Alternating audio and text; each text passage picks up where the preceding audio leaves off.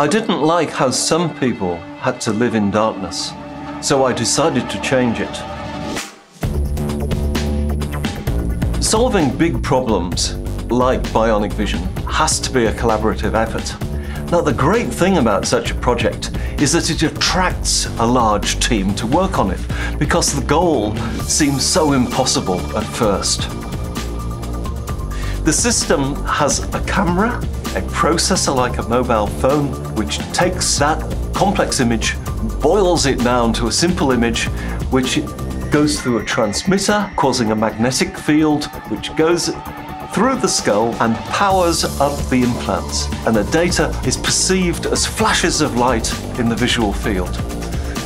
At Monash, it's always more inspiring to make something that produces something that surprises you as well as everybody else.